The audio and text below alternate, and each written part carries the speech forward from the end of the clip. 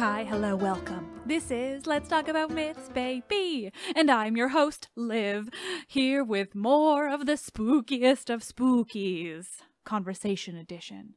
Today I spoke with one of the biggest names in ancient spooky, Daniel Ogden. He is professor at Exeter in the UK, and we actually spoke because I had one of his PhD students on the show, Ryan Denson, to talk about all things sea monsters. You must remember that one from earlier this year. It was great. So when he suggested I speak with Professor Ogden, I was eager, not least because I own like four of his books and used my favorite one, The Source Book of Magic and All Things Supernatural, not the official title, that's in the episode description, but I used it in so many month of this month's episodes, let alone the past spooky seasons that I've done. So today we spoke about all things supernatural werewolves and witches and dragons. We dived into it all, and I am obviously very excited for you all to listen. One note is that we did record this shortly after I spoke with Ryan about sea monsters, so we're talking like March. So it's been a, a while, just to explain a couple things mentioned, but obviously I had to hang on to this episode until October because spooky. So sit back and enjoy all things spooky and supernatural.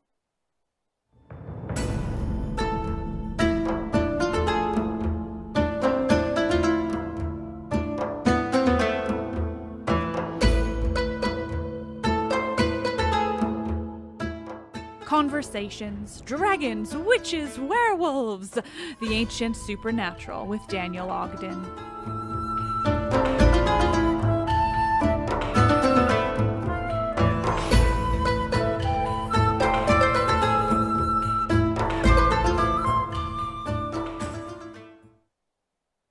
So I would love to hear about really anything when it comes to the supernatural world in the ancient world, particularly I think like werewolves and witchcraft and and dragons as well. So I mean, I'll I'll guide the conversation, or I'm just happy to also have you talk. So, what interests you in this side of the ancient world? Because I do think it's kind of unique and different from from the more sort of the typical access points. Um, I think it's just it's just me, really. you know, um, this this is my kind of stuff. Uh, mean, I, I, uh, I mean, my uh, when I started my graduate work, my, my research, it was in a very sort of sober, serious, well, yeah, pretty sober, um, serious uh, area. Uh, my PhD was actually on illegitimacy in ancient Greece. That was mm. the hmm. that was the sort of the, uh, I suppose, kind of fashionable sort of social historical um, subject in the uh, in the um, the late 80s, the early 90s, you know, when I was doing it. Um, and I, I, I, enjoyed that uh, work, but um, I guess it wasn't really me, you know. And what, uh, I mean, what I'd always loved since being a kid was um, uh, horror, um, certain certain kinds of science fiction, mm. and uh, and but, but the things that I, I, I, was particularly interested in was Hammer horror movies. Of course, I didn't get to see them until I was quite a bit older. Um, but even from being a small child, I was fascinated by you know that those particular versions of Dracula and Frankenstein and the Mummy, this kind of stuff. Mm-hmm. Um, and so that's it. So, uh, so you know, I mean, the simple answer to this, to your question is, uh, I'm just looking for that kind of stuff in the ancient world. I, I mean, and it's that's something that's very fascinating to me as well. I I mean, I sort of just appreciate horror generally. My version of loving horror is a lot of like slasher movies from the 90s and and mm. weird things like that, supernatural. Um and so basically as soon as I found out that I could talk about werewolves in the ancient world, it was like a very very big thrill for me. So I mean, I think uh, and I hope it's all right that I want to start with werewolves. I know you're, you know, you're most sure. recently talking about dragons. Um, but werewolves are so interesting because I just kind of, I guess, I had no real grasp that they, the concept of that was so ancient, and and like, why mm. do you? I mean, why do you think that that existed back then? This idea of being transformed into a wolf as I mean, uh, I don't, I'm not phrasing a question very well, but I basically just want to hear more about why yeah. you think werewolves happened in the ancient world. Well, it's, it is a good question, and I'm not, I'm not sure I have a, a definitive answer.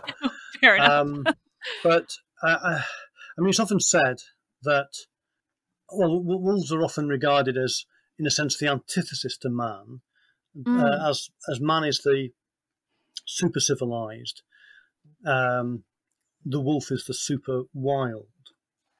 I suppose, I mean, you could say that there are many animals that could be regarded as super wild.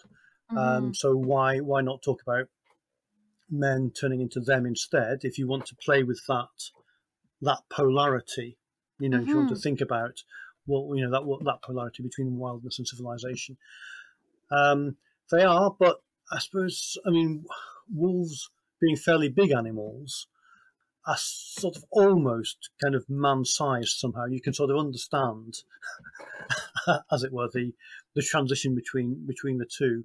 It's mm-hmm. a bit mm-hmm. harder to think of, um, you know, the transition between a, I don't know, a man and a stoat, for example, isn't it? you know, they're sort of they're the right size. Um, but as I've suggested in the werewolf book, I think it's actually rather it's not, not quite as simple as that. It's not just that wolves are super wild and you know humans are super civilized. Um, because if you think about it, um, and actually I think most people who are interested in wolves these days would think about it like like this. In their own way, wolves are super civilized, mm-hmm. aren't they? I mean, they have their own their own packs, their own communities, their own hierarchies. They're very cooperative, um, collaborative animals and of course they're basically they're basically doggies, you know, and you know, and uh, you know, and, and, indeed, you know, in the right circumstances, are rather friendly uh, mm-hmm. animals. Um, so, so I, again, I, I, I think that that's that's part of the mix too. That there is already that there is already that sort of bridge there between man and wolf. Mm-hmm. Um, and again, as, as I, again as I do say say in the book, uh, in a sense, um, a wolf is already a, in itself a werewolf because it does have mm-hmm. the wild aspect, but it also has the civilized man-like aspect. You know, so um, I think so. I think I think that's the reason of choice. If, if you're thinking about what what animals might a man turn into, um, or what sort of problems might we think through, you know, um, with this sort of polarity between between man and wolf. Uh, again, I do think the wolf sort of particularly lends itself to that uh, to that to that sort of thinking. Mm-hmm. Um, yeah, uh, I mean there are. I mean there. I mean that that's that's that's my basic take. Um, mm. I think, in fairness, I should say that probably other people would probably give you other answers. Uh, I mean, one answer you might you might be given um, would be that it's all to do with social organisation, mm. um, and that there's an ancient tradition, ancient custom, and sort of international almost universal, I think, um, custom of of young bands of warriors being sort of conceptualized as wolf packs. Oh, um, oh, interesting. And so and so this is this is basically the, the origin of it. The, as it were, the young man becomes the wolf to be this sort of to be this sort of marauding warrior, and that's a phase he grows out of in due course. So you have the man turning into the wolf and then returning from the wolf to to, to, to personhood, I suppose, manhood. Um, again, it's all. I mean, rites of transitions are in there somewhere. You know, the mm-hmm. idea that you go into, you temporarily visit an opposite status and then return from that opposite status um, to, tra- to to to transition. Um, so, I mean, a lot of people st- still believe that kind of stuff about mm-hmm. about werewolves.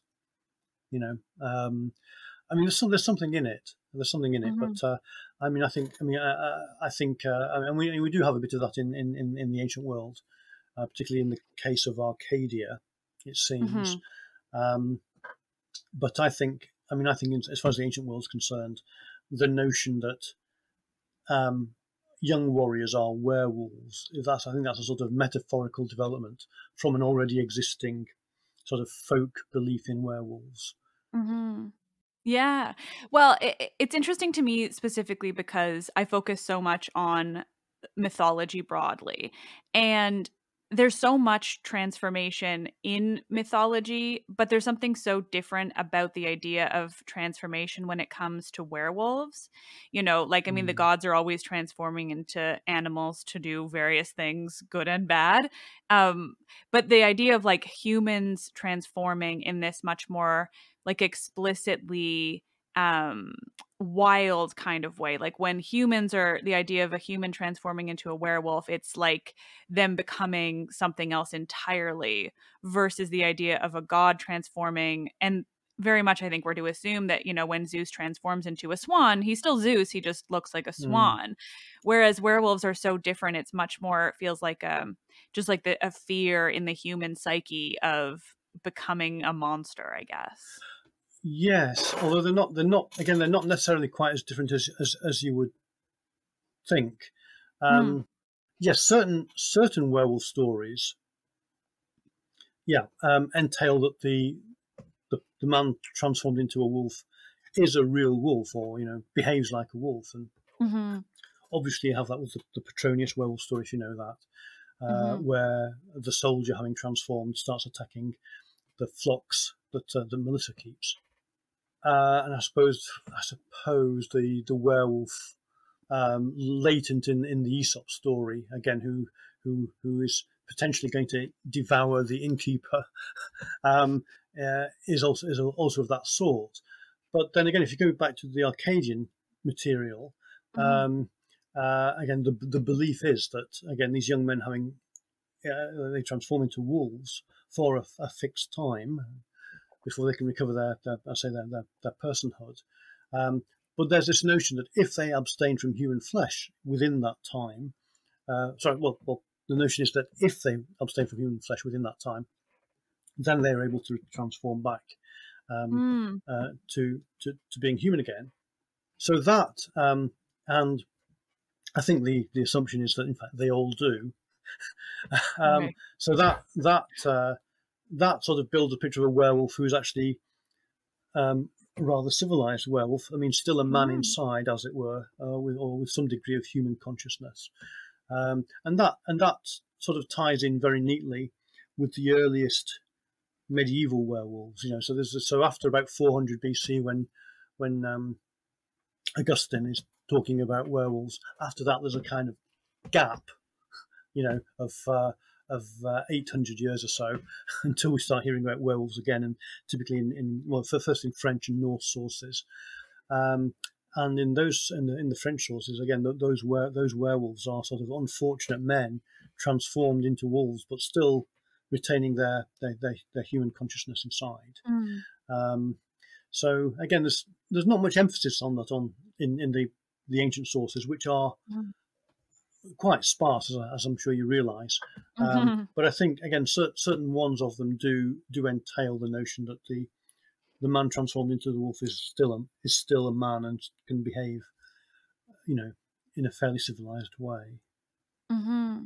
I think that just makes it so much more interesting. Like the idea that there are so many different variations on what Hmm. it is actually like to be a werewolf in in whatever way that that there are these like not options but these alternatives where where you're either monstrous or just a person in a wolf. It really adds to the just the fascination that that the stories were really developed in the first place. That they they have these all different types and and you know span so many different generations and you know and centuries and things. Yes, I agree. There's there's there's no there's no sort of one fixed pattern, even in the ancient world. Um, You know, I mean, each each werewolf seems to, or each werewolf case seems to be a little bit different. You know, yeah, Mhm. yeah, I agree.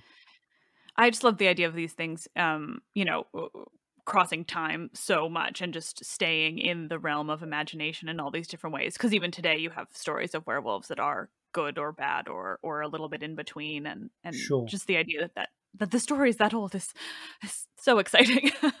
Yeah, yeah, just the idea that that uh that the ancient world while they were you know so involved in in mythology and everything but then had had all these sort of separate and much more human ideas of of transformation and and generally like the supernatural i suppose in general um is really just broadly interesting to me. One of the other um books of yours that i love to use which i realize is probably like a different um I don't know how it goes writing these things, but the the source book that you have on Oh. just generally magic and everything is has been such a wealth of information for me because just the idea that that witches and witchcraft and magic and the supernatural broadly uh, is is utilized in so many different ways is really interesting. Um, and again i'm trying to find a question within that statement but i suppose you know well actually you know what one thing that that really interested me i spoke to somebody uh, last year about this is the differences between um, the the ancient greek ideas of witches and witchcraft and the roman because sure. to me this is speaking broadly, but they feel very distinct. You know, we have yeah. women like Circe and Medea, and then we have sure. women like um, oh, I'm going to forget her name, but the well, Canidia, Erichtho, yes, exactly. they would be the obvious ones. Meroe, yes, Apuleius, they'd be the obvious ones to mention. Yeah, yeah, Canidia is who I was thinking of specifically, but but all of those I've uh, you know researched. This was a, a while back now, but but the, they're such distinct types of characters, and it seems to me that the Greeks really found like a almost like a more positive interest in the idea of these kind of characters, mm-hmm. whereas the Romans felt the need to make them like a bit more either ridiculous or dangerous or or just it's very it's interesting the differences. Do you have thoughts on what that comes yes, from? Uh, yeah. I mean, well, I think actually Greek witches, uh, and actually, I mean, our evidence for Greek witches is, is really quite limited. It's it's mm-hmm. not much more than the traditions of Circe and Medea, and there's a whole bunch of people out there who don't think Circe is even a witch anyway. But um, uh, yes, I think.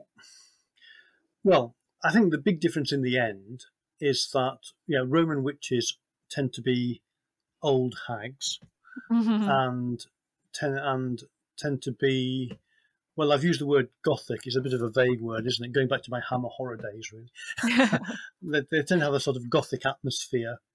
Um, they're they're bloodthirsty. They're particularly mm-hmm. bloodthirsty, and uh, involved with body horror and things like that, you know. But you know, I mean, we shouldn't we shouldn't sort of let our eye leave the ball on this. I mean, the Greek Greek witches are can be pretty bad. Mm-hmm. I mean, let's not forget that Circe seemingly transforms all visitors to her island into animals, and um, I mean, let's just think this one through. Um, she turns obviously famously Odysseus' crew into pigs and herds them into sties. Now, what's that about? What's that for? If, if I mean, she's not just keeping them as pets. I think, you know, I mean, there's only one thing: pet sheep you can keep for wool, mm. cows you can keep for milk, chickens you can keep for eggs. There's only one purpose of a pig in a farm, and that's to be eaten. Mm. So she's planning to eat them right? So that that already makes, you know, we think of sexy Circe, but that already makes her look a, a whole lot worse, doesn't it? Mm-hmm. And we can go further than that. Um, I think the indications are that every animal on the island is a human being that's been mm-hmm. transformed. Mm-hmm. Um, it's not immediately apparent when when uh, when we first hear about the wolves and the uh, the wolves and the lions. That's the wolves and lions that surround her house. But, late, but later on in the text, it does become clear that those also are transformed human beings. Mm-hmm.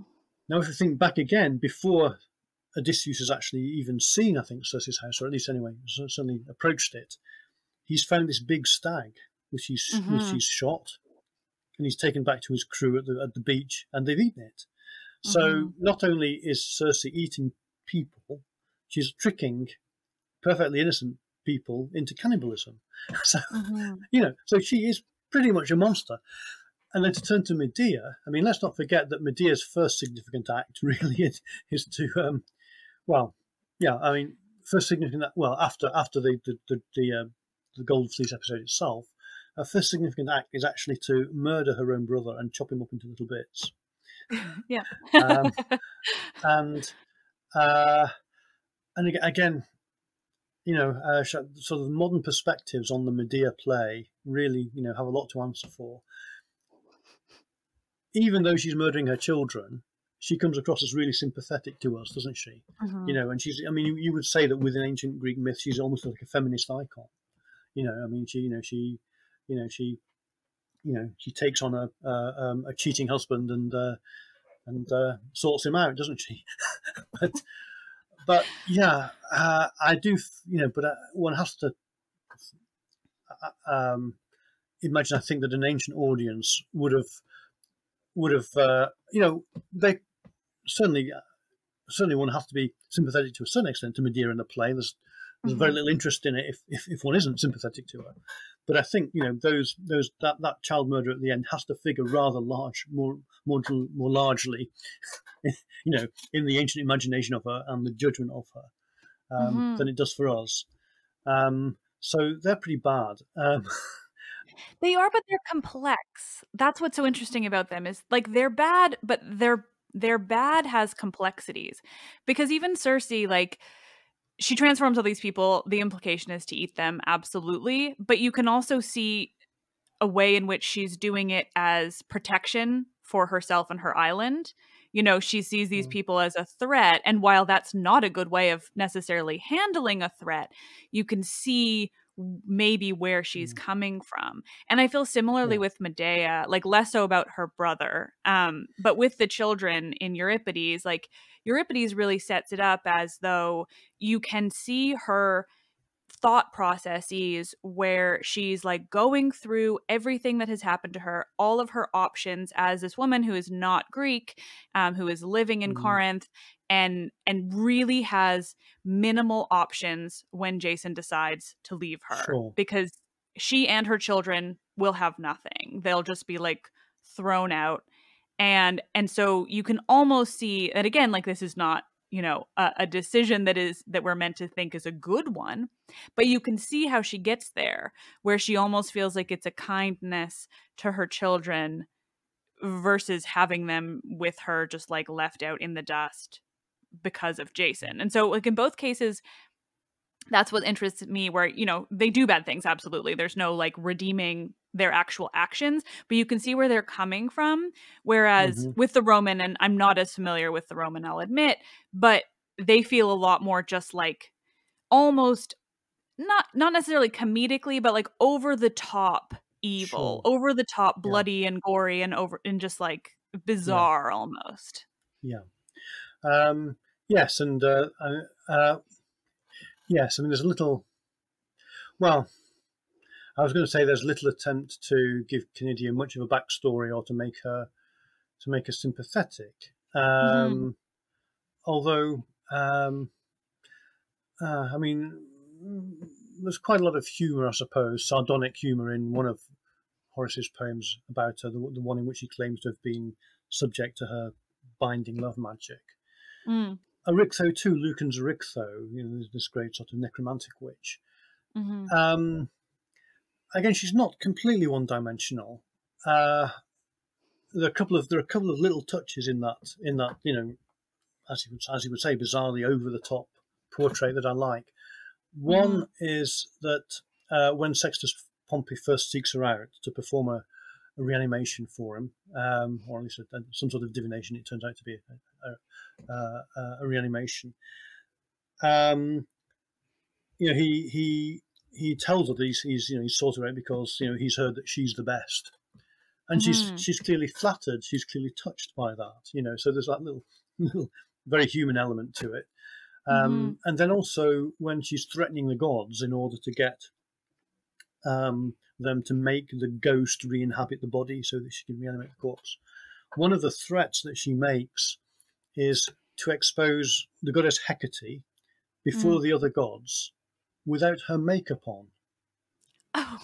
Um, you know, that's what sort of a threat is that? I mean, it's all about it's all about the, the, the like the I don't know the the the, hor- the, the horrors of of uh, of um, petty bourgeois, you know, middle age, isn't it? And it's, you know, what what, but it's but it, but it's humor, isn't it? Because it's just it's just yeah. humor. It's, it's just lots of humour there. So again, Erichtho is a complex figure. Um, but I've recently argued again. Again, this is quite um, this is probably quite an obscure book, so you may not, and it's a, just a little book. You may not have seen it. Um, mm. I also have, I've also recently published something called the Strix Witch, hmm. um, mm. and um, this is a little book, just about thirty thousand words, on that phenomenon. Um, and that phenomenon, to be brief, is a phenomenon of old women who transform themselves, well, who fly by night, either by transforming themselves into owls or by some sort of soul projection. Uh, and in either owl form or soul form, they penetrate a domestic house, um, there's usually some sort of issue as to how they get past the door. But think you know, that's the challenge. Um, and they attack babies within, either stealing the baby or attacking the baby, stealing organs from the baby, sometimes surreptitiously stealing organs from the baby so you don't realize they're stolen, mm. and then hmm. getting out again, uh, leaving the baby to sort of, well, either leave, leaving the baby dead or to fail slowly. Um, so that's quite a, that's quite a phenomenon, and um, mm-hmm. we get that in we get we get um, of the classical authors we get Ovid and Petronius talking about these witches, um, and uh, what they say is sort of nicely amplified by some medieval sources, which, which I, I, won't go into. Um, but I think I mean that's a that's that that was a distinctive phenomenon in Roman culture. That was mm-hmm. kind of like the Roman answer to the Greek child killing demon, the Lamia. Mm-hmm and um, uh, I mean, I mean the fun- I mean what the function of that sort of folk belief, sort of the Strix witch, um, is clearly, I think, to to account for, you know, mass infant mortality. Mm-hmm. You know, um, if every other child is going to die within a few weeks of being born, you know, you need an explanation for it, don't you? But anyway, I think I think that that idea, the notion of this Strix, which is quite distinctive phenomenon, um, is what imbues the portraits of witches in um, in uh, in Latin literature, in, in the poetry mm-hmm. and the prose, and Apuleius too. Um, I think there's, I think that is what sort of gets into the mix there, and that's why they're suddenly witches are all suddenly like old and bloodthirsty. I think mm-hmm. they're basically they've all been Strixified, even if they're not specifically designated as Strixes on an individual basis. Hmm. That's really interesting. I it sort of connects with what I had sort of, of, of thought of the Roman, the Latin uh, witches, which is they also witches and comma which is uh, that they also sound like a bit of a commentary on women and just the opinions of these writers and the culture on on women broadly because mm. I mean, even just the idea of of the a threat of like revealing a goddess without makeup on doesn't seem like something that a woman would ever write you know it very much feels like like a man writing about a woman and i find that that very interesting i think it, it says something about their like mindsets um well yes poss- possibly so i suppose yes i suppose it's a man recognizing a peculiarly feminine anxiety, I suppose. Mm-hmm. Yeah, and and and and blowing it blowing it up big, isn't it?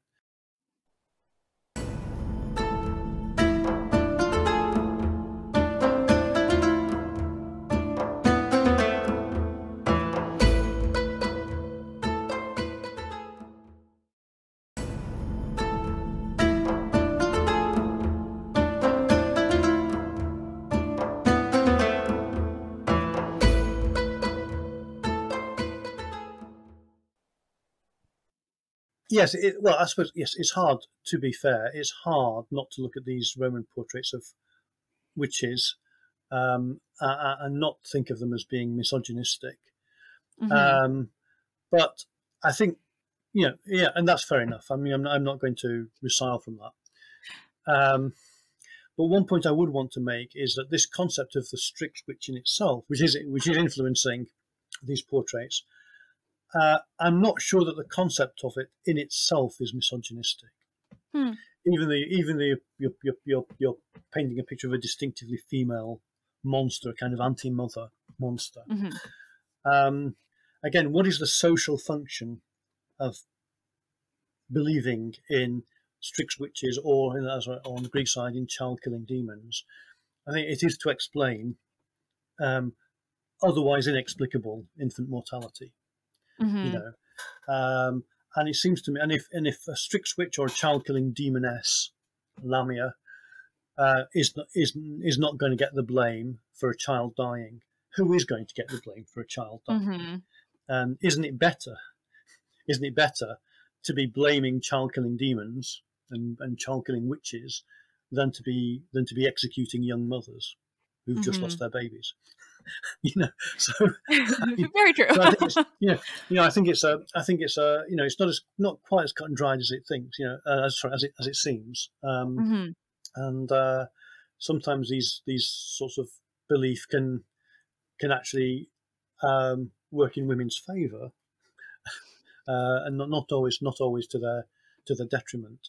And indeed, I would say that I mean, probably who who thinks more about who who in ancient society cares most, uh, frets most, is most anxious about infant mortality. I would suggest it is the mothers, in fact. hmm So probably these ideas, these ideas of uh, say strix witches and and child killing demons, probably originate, I would say, and sort of belong with women themselves in the first instance. So again, so I'm a bit I'm a bit reluctant to, to just to just to just to say in a sort of very reductive way, this is a misogynistic idea. Yes, it's it's, it's an idea that we may well find being used mis- misogynistically in our in our in our male authors.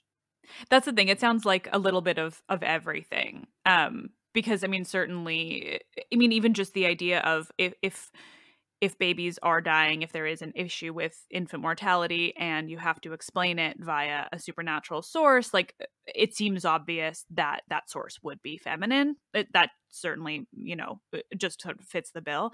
Um, but then I I I think it's it's similar. You know, you can have those ideas that are that are based in in not misogynist ideas that are just based in in sort of like the more obvious choice um that then can get transformed into more misogynist ideals like when it comes to the latin authors who are who are sort of having a lot of fun with these characters and and you know inventing their own versions certainly.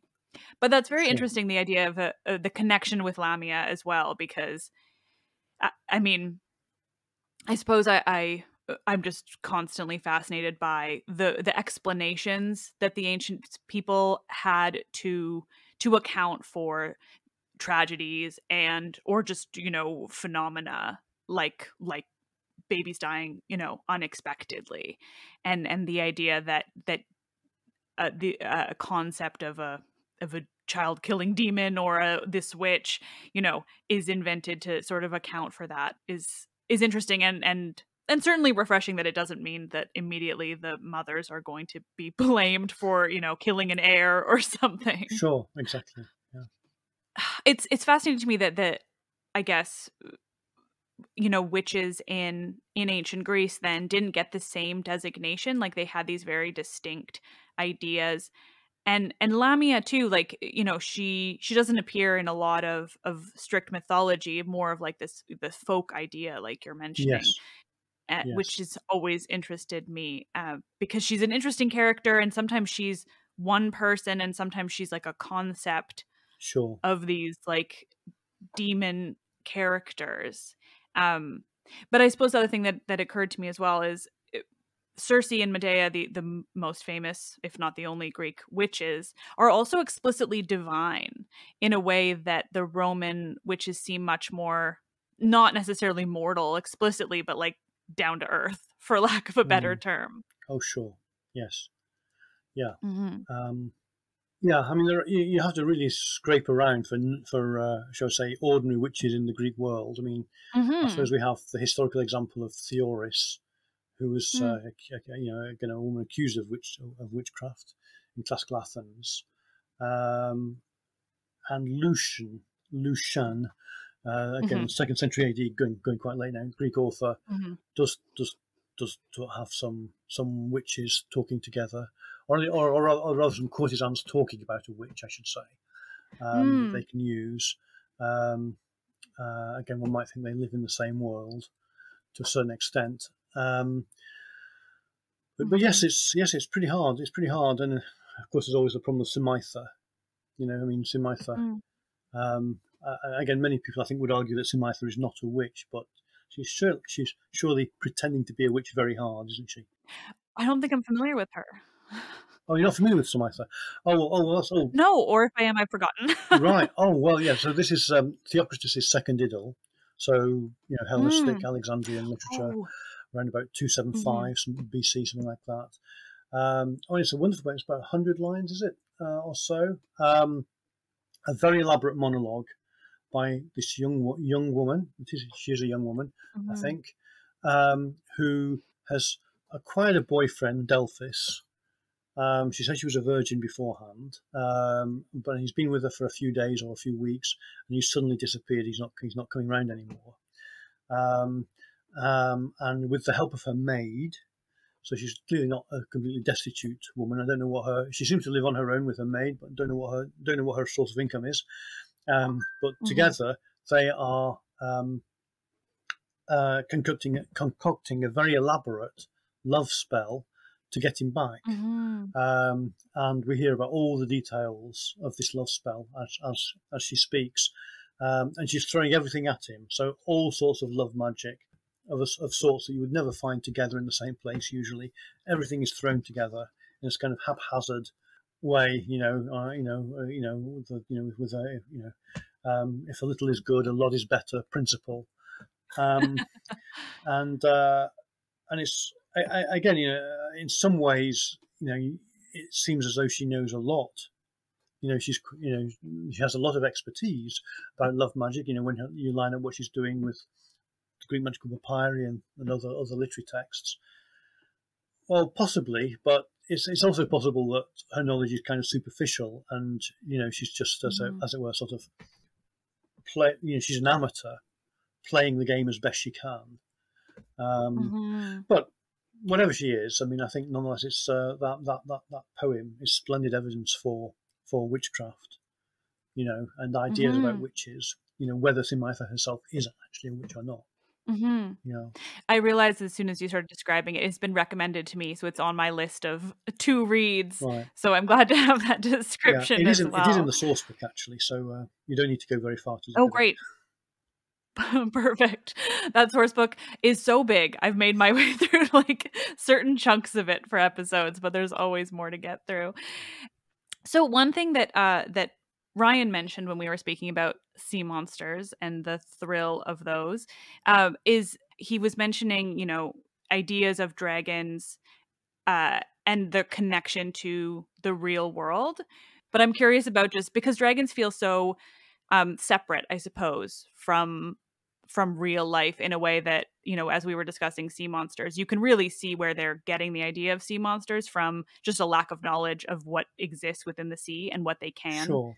You know discover about it um, but dragons you know specifically like apollo and delphi Yeah. and and that situation feels so separate so i'm just curious about the connections between real things Yes, um, that is a good question.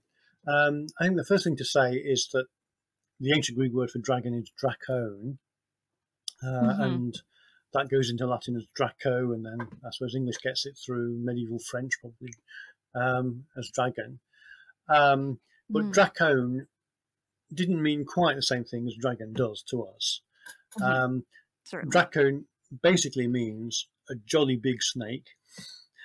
um, uh, with, uh, and uh, well, this is my sort of the, the definition that I've come come to use for it over the years.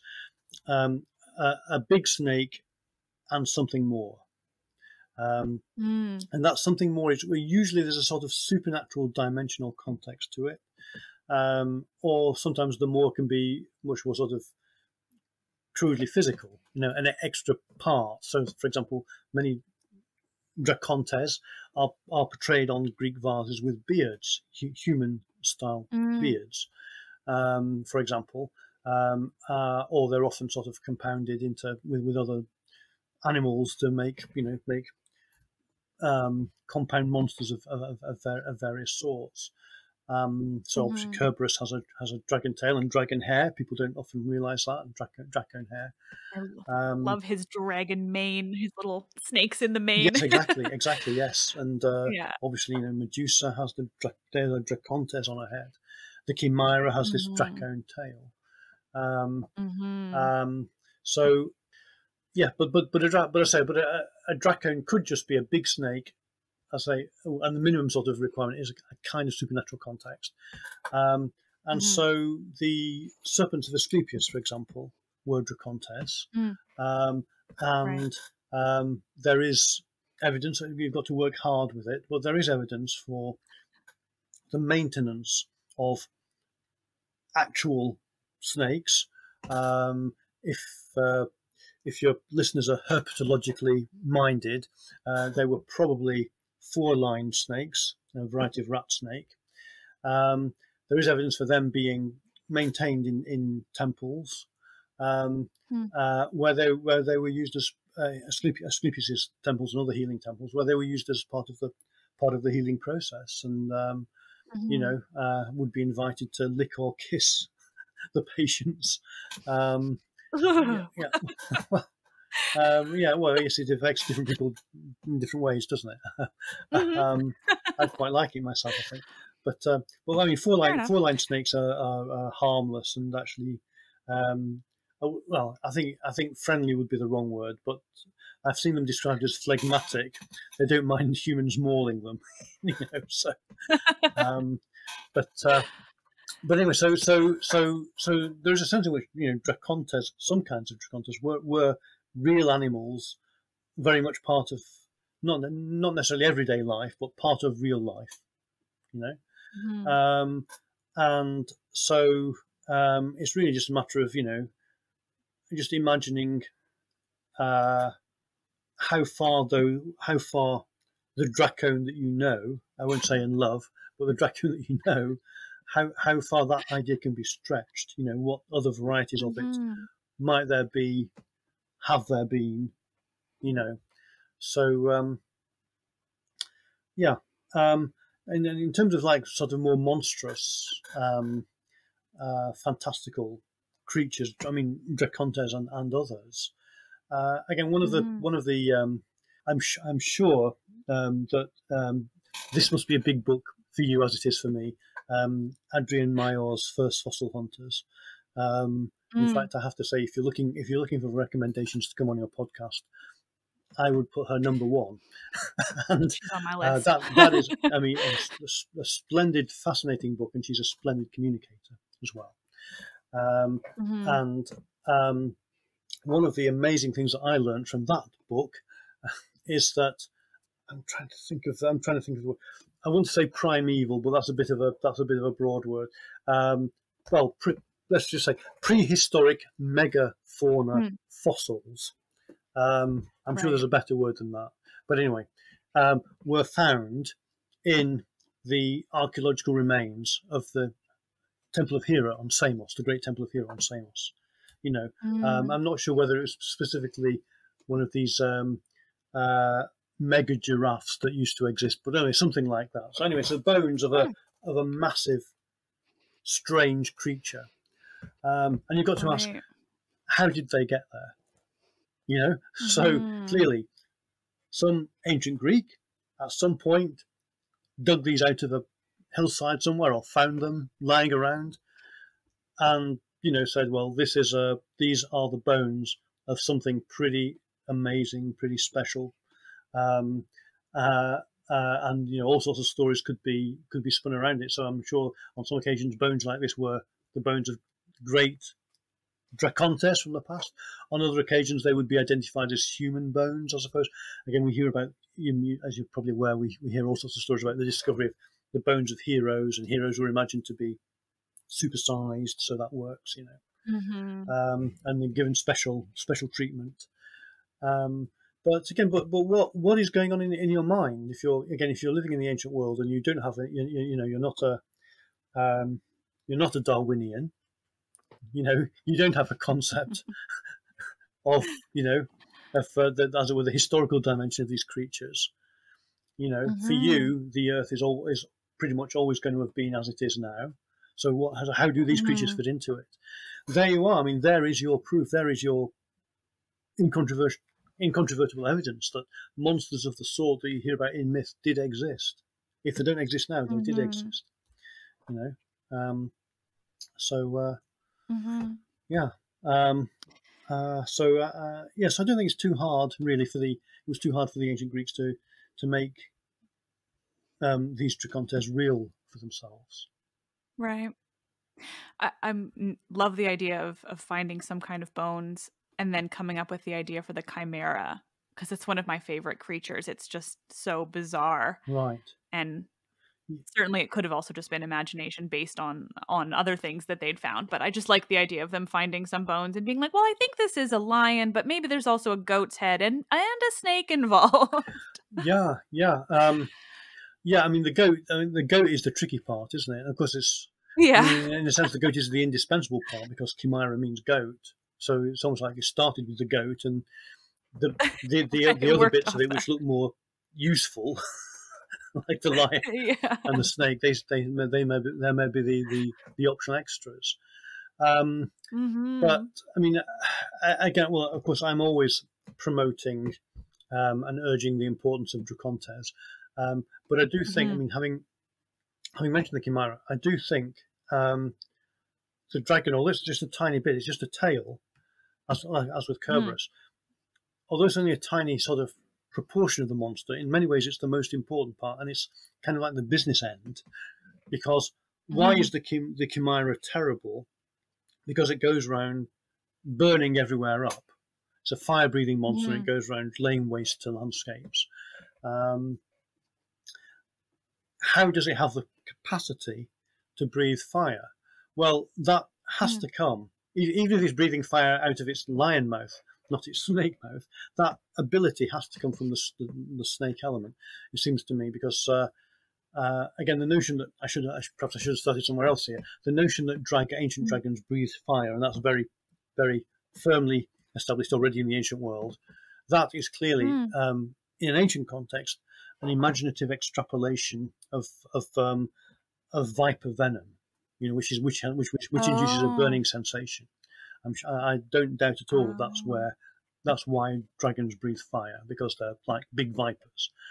Um, yeah. And so the chimera, to go back to the chimera, breathes fire because it has that snake tail. Mm-hmm. Um, Kerberos, similarly, I would say. I mean, again, one of the lesser mm-hmm. myths of Kerberos, but my my personal favourite, is that when Heracles dragged him out of the underworld, Bear in mind, he'd been mm-hmm. born in the underworld. He'd never seen daylight mm-hmm. before. Mm-hmm. So, um, big tough dog as he was, he was terrified. And what and what does a terrified dog do? He threw up. and he, he threw up on, an, on a harmless plant called the aconite, and his vomit or his slather transformed that plant into the most supposedly the most poisonous plant of the ancient world, the aconite. Um, again, so where is that venomousness coming from? Again, it has to be not his doggy mm-hmm. element, but his snake element. Mm-hmm.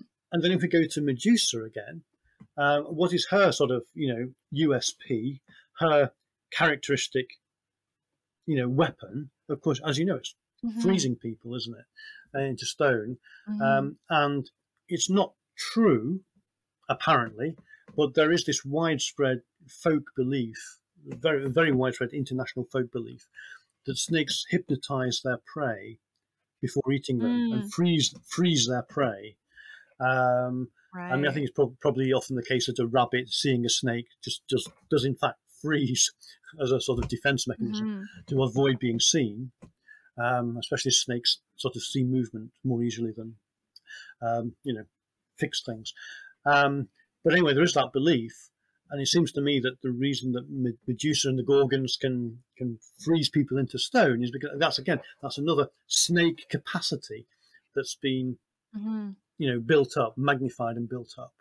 So, although snakes are a sort of relative, relatively small proportion of these three monsters, as I say, I think they're they're the key bit really. They're the, they're the they're the things that give them their their killer their killer qualities. You know.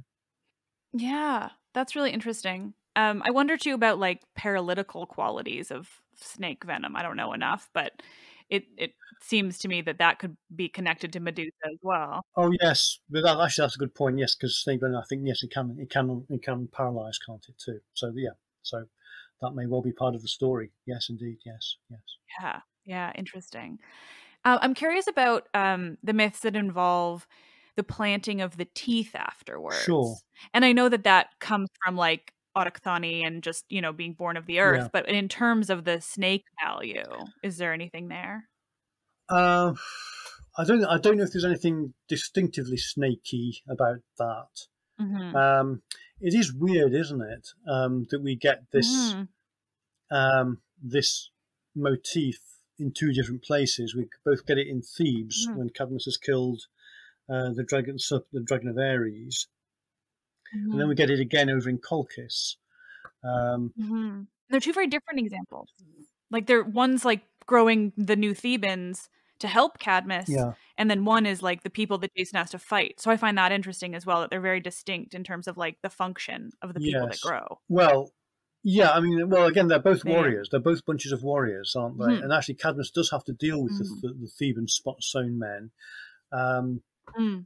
He he again he has to throw this stone in amongst them so that they start fighting themselves. I mean, I suppose the notion is that they Right. fight him otherwise. So maybe it's maybe it's not Right. quite so different.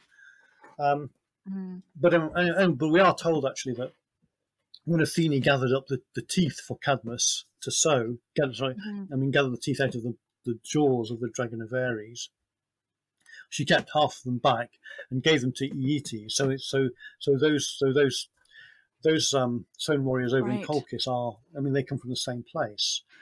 I Um, forgot about that. uh, I mean, well, I'll say something more about. No, no, I'll say I'll, I'll talk about Thebes first. Um, Great. one thing that interests me about that particular story is Mhm. that um, there are different traditions about Cadmus. Cadmus is attributed with discovering or inventing a lot of different things, including alphabets. He's also credited with the discovery of metal and the invention of mining. Mm. Now, bear, now think about that in connection with, um, uh, with uh, well, two facts. Normally, normally he is said to have killed the dragon with a stone, Hmm. um, and then of course the stone men famously grow out of the ground, already wearing arms. And Mhm. I can't help feeling Mm. that that is another way of telling the story of Cadmus's discovery of metal. He kills the snake with a Mhm. stone because metal doesn't yet exist.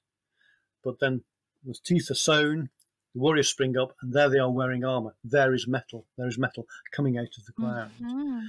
Um, so, in other words, so somehow that metal comes from the body of the dragon, which is interesting. Again, you do, one tends to think about the metallicness of, of snakeskin then. But Mhm. um, but then going over to Colchis, it is weird. It is weird that why, why should half of these teeth be held Mhm. back and then given to Aeetes?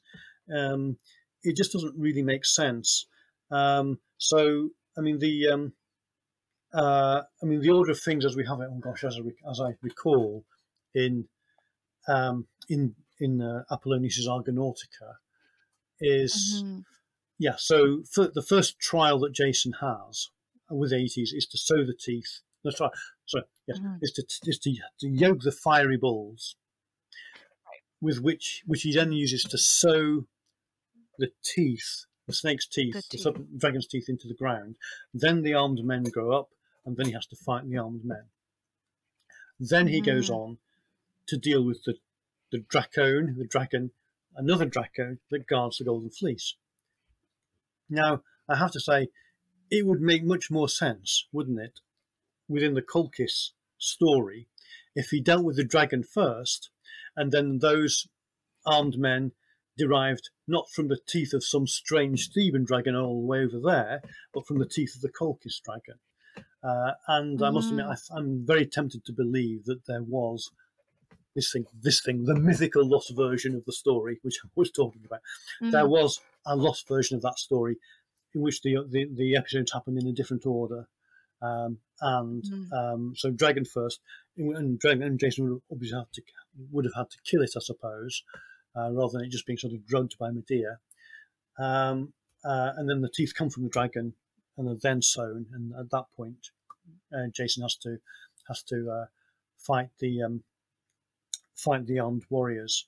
Um, Mhm. uh, which is exactly actually what happens in the uh, 1963 movie Jason and the Argonauts. Mhm. Again, Ray Harryhausen changes that all around and and to, to, to give it a much better a much better logic. Yeah. Mhm. And those great skeleton men. Exactly, I mean, yes.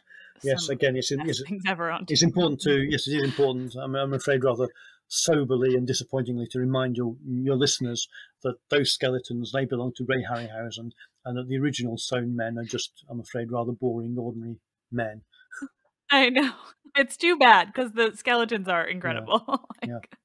like, yeah. Uh, yeah, that's really interesting. I because there's also we have that po- pottery of Jason like being spit out of the dragon too, Yeah. right? So it, it, it certainly seems to suggest there's there's a different tradition there, especially because Apollonius is writing so late, and we know that the general idea of the story of of the Argonautica and the quest and everything is much older, but most of the details we have are are from the Hellenistic period. So Well, I agree. Yes, I mean, for me, one of the big mysteries, actually, um, of ancient Greek literature and myth is where was the original Argonautica? Where, Mm. where, where did that brilliant, brilliant story? Um, where was it originally kept? Um, Mhm. you know, and I mean, there are suggestions about sort of obscure lost epics, like the like the mountain, like the the epic of Nau- Naupactus, of which maybe eight words. I forget exactly how many. It's like eight words survive. you know, um, strange suggestions like this, um, but it is a mystery. It is. It really is a mystery where that where that myth was was sort of kept and cherished uh, before it actually ended Mhm. up in in Apollonius. Um, Mhm. uh, oh gosh, no, I was going to say something else. what was that? No. Oh yes, sorry. Yes, you mentioned that that wonderful the the the, the Duris the Dur, the Duris Cup um, with um, with Jason. Yeah, um, being yeah being thrown up again. Again, Yeah. uh, here we come to dragons throwing things up. It's becoming a theme, isn't it?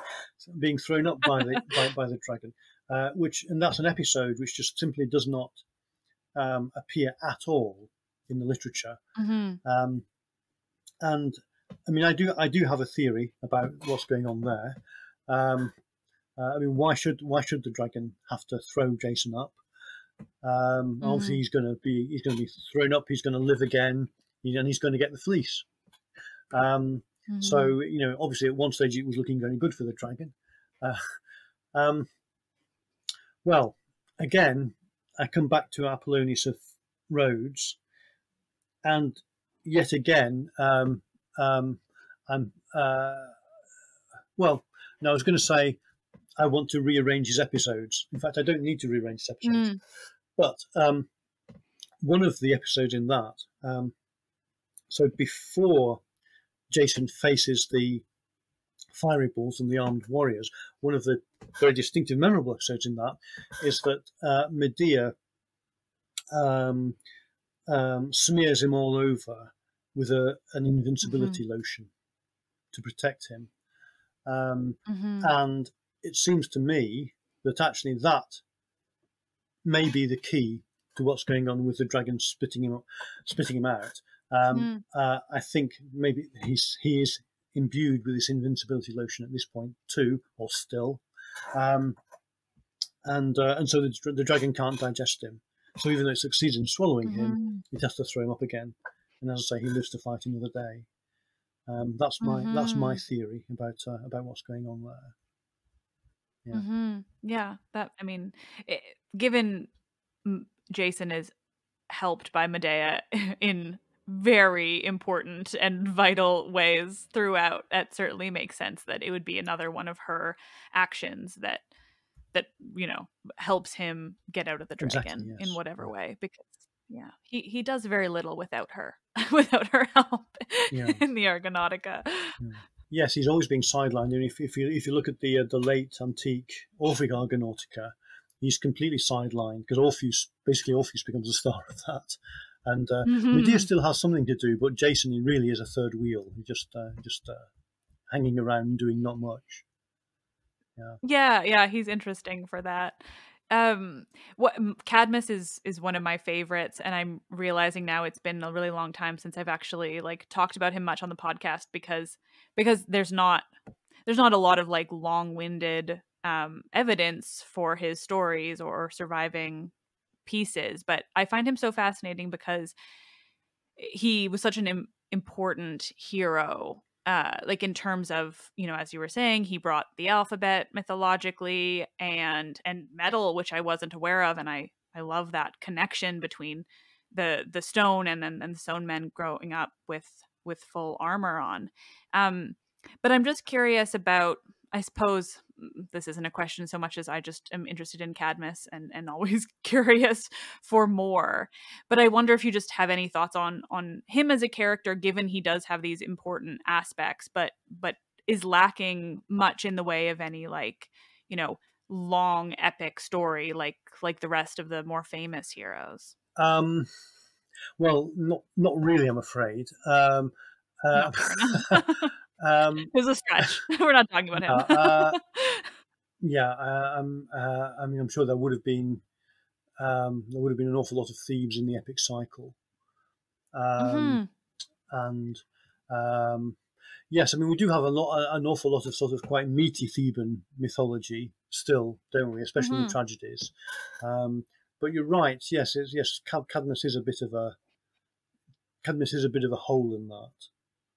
Yeah, Mhm. yeah. Well, and even from what I've heard about the the like missing Theban cycle, is it it does still seem to be more revolving around the Oedipus and the Seven Against Thebes bit. Sure. So all people who descended from Cadmus, but even still, it it seems like in the the lost works that we know are lost, Mm, you know, versus everything Sure. else, um, it still seems that he might be this kind of like missing character, and I just find him so fascinating for that. I guess just because he he does have really important things attached to him, but without any real story that we know of as either surviving or or being missing. Um, Just like to theorize on Cadmus personally. well, yeah, I mean, well, well, well, what we don't have is a yeah, as you say, is a sort of meaty recreation. You know, so we don't have a, you know, a, a Homeric account of Cadmus. We don't we don't have Cadmus in Mhm. a tragedy. We don't even have a, well, um, He's in Back Bacchae. oh y- yes, yes, yes. Um, and then, then there's and yes, uh, yes, briefly, and, there, and and actually there's quite an interesting reference to him there. Um, Mhm. and obviously we get a bit of get a bit of Ovid, a nice bit of Ovid Mhm. uh, about him. Um, and Nonnus is sort of the big one, but he's so he's writing oh, so oh, late. indeed, yes. Nonnus yes, is yeah, Dionysiaca. Yes, well, Yeah. you're a brave, you're a brave person if you word. can if you can get through Nonnus. I've read all the Cadmus bits Okay, of that, all and it's okay, right, yeah, mind sure. blowing. Okay, yeah, yes, but you're right. You're right. He's, he doesn't really come across as a personality somehow, does he? Mm. Um, but he is, yes, he is interesting. I mean, he's, I mean, and I mean, not, not, not the least interesting fact about him is his, is his end, isn't it? How, how he ends up being transformed into a, into a dragon alongside, alongside, um, Yeah. Harmonia. Um, you know, and one, wonder, one wonders why that is. What's that all about? hmm Um, uh, that particularly because his his family is so cursed as well. So his his family is so cursed, and then they're turned into snakes, so they're almost not cursed. Is just a, a something I find quite interesting. Yeah, yeah, yeah. I mean, part, I mean, part it might be um, that he has to make further compensation for killing the dragon, as it were, by sort of becoming a dragon in Mhm. its place. But you, th- but then you have to Mhm. wonder about Harmonia. Why does Harmonia have to change too? You know, um, Mhm. and what happened between? I mean, how how is it that Cadmus could kill Ares' son, the dragon, Mhm. um, but then gets to marry Ares' daughter Harmonia. What Mhm. you know? Again, what's Mhm. going on there? Um, I Mhm. mean, yes, I mean, well, I mean the, I mean the psychology I'd like to, to see in all this is, is actually Ares' psychology. Mhm. That's I mean that's something I wonder about a lot generally. Yeah. Aries is interesting. Well, and and I Harmonia is is the reason I developed an interest in Cadmus um because I find her so fascinating. She's basically the only goddess who is you know a goddess on both sides of by both her parents are incredibly important like both olympians and yet she lives her whole life as a mortal with cadmus and i just think there must be some kind of uh, reasoning there Right. that we don't have some kind of background because that's fascinating to me Yeah. Yes, I hadn't thought of that. But sure, yeah, yeah, and uh, yeah, and again, and again, that sort of almost sort of intensifies the question as to why she has to end up as a Draco, doesn't it? Mm-hmm, exactly. Mm. Yeah, like why is she not immortal? There's never an explanation for for why she would be living as a mortal and be able to, you know, that she doesn't get, you know, apotheosized like Heracles or anyone Mm. else, given that she is like she's equivalent to Eros in terms of parentage, Sure. but then she has this whole mortal story and Mm. Yeah, she and she and Cadmus are my passion project. Uh, so I'm just constantly looking for more about Yeah. them. Uh, well, I mean, this has been so incredibly fascinating. I mean, I'm thrilled to have have learned so much about these witches and and werewolves and dragons and snakes and and also Cadmus. So thank you for indulging me on my Cadmus and Harmonia Yeah. talk. um, yeah, I really appreciate you speaking with me today. Right. Thank you so much. Um, is there anything you'd like to share with my listeners in terms of of you know uh, your books or your work at all? Um, well, um, yes, it'll be a long time before before I produce another book. I'm afraid. I mean, I'm, I'm at the bottom of the bottom of a sort of productive valley at this point. Um, I may or may not, um, at some point in the distant future, produce a sort of general general guide to to classical mythology, um, much as you have Mm. done yourself. Um, uh, um, but um, but no, uh, no, uh, no. I mean, my my most recent proudest productions are the werewolf book, which you've uh, which you've mentioned, and then also there's what we call the new the new dragon book, the Dragon Three, as I call it, Mm. um, the Dragon in the West, um, and um, yeah. So that's those are, those are the two books I'd, I'd want to advertise at this point. Wonderful. Well, I'll I'll put them in the episode's description, and um, I plan to to air our conversation in around October when I love to do all of the spooky stuff, and so I will be using all of your books again, and my listeners can learn more about them that way, and and I'll I'll I'll share where to purchase them and everything because your books have been incredibly helpful to me in all my spooky season episodes. So thank you for That's that. very kind. Thank you. Uh, well, I was I'm thrilled to have you. Um, yeah, thank you, thank you so much for Okay, doing this. great. It's been a pleasure.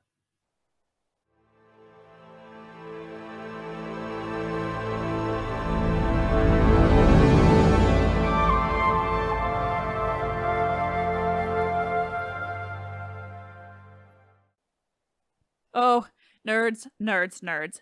Thank you, as always, for listening. I fucking love spooky season. It is just so much fun to trawl all the ancient sources and characters for anything that I can even remotely relate to this topic. It's like a treasure hunt every year.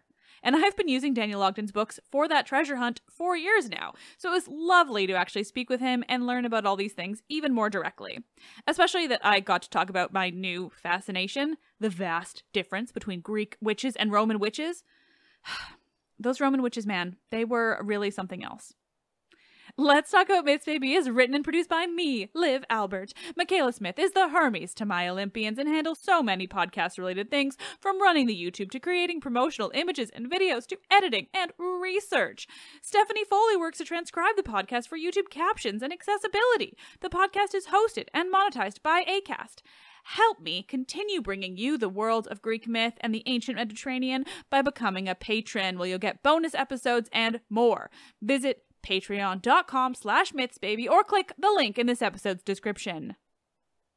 As always, you all are the absolute best, and I wouldn't be here without you. Thank you for listening.